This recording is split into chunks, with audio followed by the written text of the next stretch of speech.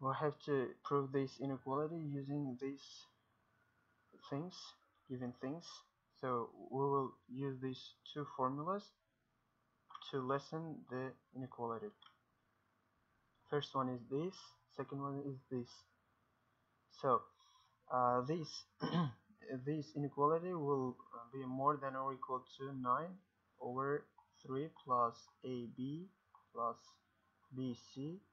plus AC and this uh, this will be more than or equal to uh, using this second one uh, will be more than or equal to 9 over 3 plus a squared plus b squared plus c squared and uh, this is given 3 and it will be 9 over 3 plus 3 and it will be 3 over 2